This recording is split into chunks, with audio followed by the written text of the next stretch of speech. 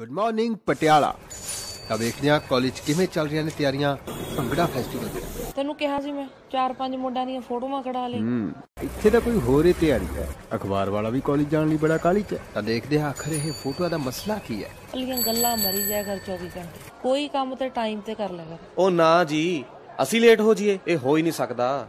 ਉਹ ਆ ਗਿਆ ਫੋਟੋ ਲੈ ਕੇ।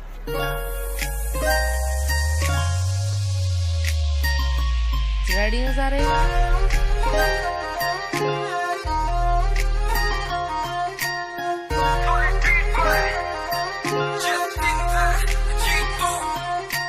ਆਇਆ ਸੀ ਵਿੱਚੋਂ ਲਛੜੀ ਰਿਸ਼ਤੇ ਦੀ ਗੱਲ। ਚਾਰ ਪੰਜ ਫੋਟੋਆਂ ਫੜਾ ਗਿਆ ਕਰੇ ਕੱਲ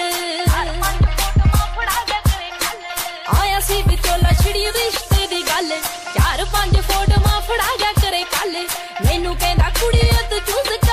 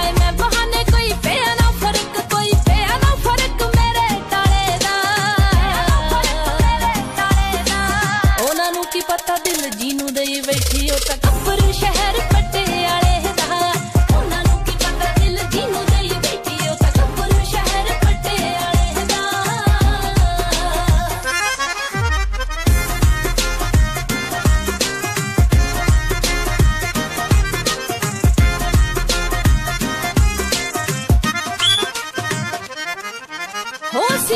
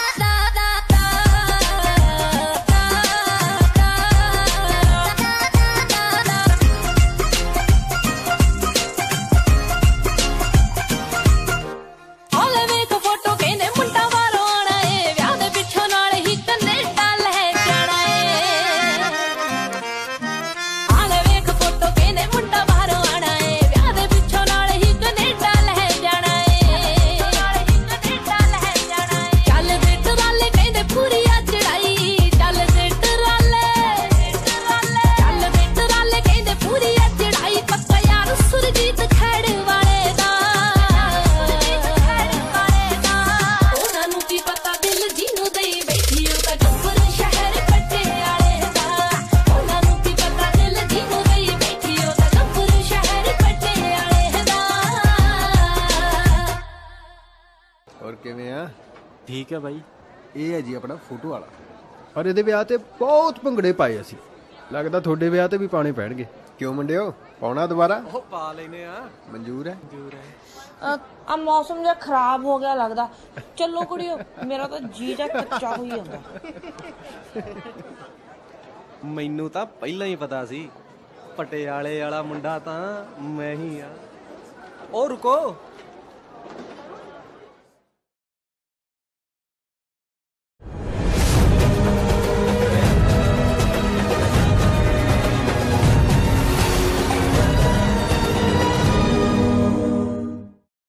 ਗੁੱਡ ਮਾਰਨਿੰਗ ਪਟਿਆਲਾ